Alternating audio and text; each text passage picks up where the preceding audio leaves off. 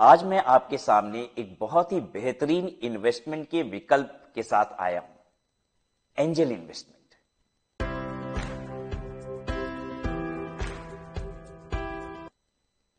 पिछले कुछ दशकों में एंजल इन्वेस्टमेंट एक बहुत ही रिवॉर्डिंग इन्वेस्टमेंट एसेट क्लास बन चुका है।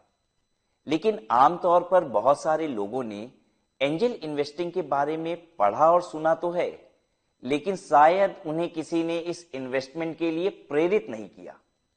वेल एंजल इन्वेस्टर एक हाई नेटवर्थ इंडिविजुअल होता है, जो स्मॉल स्टार्टअप्स या एंटरप्रेन्योर को फाइनेंशियल बैकअप देता है और बदले में कंपनी के इक्विटी शेयर्स ले लेता है।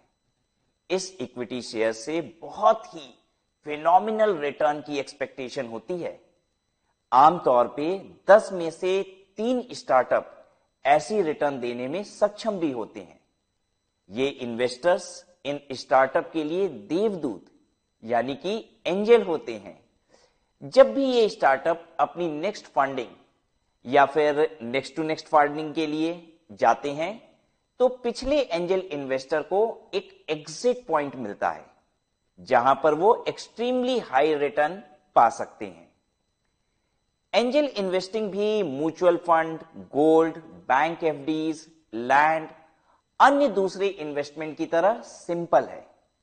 पर सही स्टार्टअप को आइडेंटिफाई करना होगा, जो कि एक टिपिकल प्रॉब्लम का समाधान कर रहा है। उसके पास कुछ नवीन विचार है। यह एक हाई रिस्क इन्वेस्टमेंट तो है, पर हाईली रिवॉर्डिंग भी है।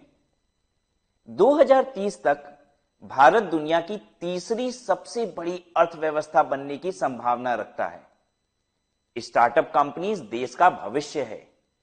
एंजल इन्वेस्टिंग इसलिए सिर्फ़ एक इन्वेस्टमेंट नहीं है, बल्कि देश की तरक्की में भागीदारी भी है। तो I wish you go for angel investing. जय हिंद, जय Bharat. Signing off, C A राजकीय अग्रवाल।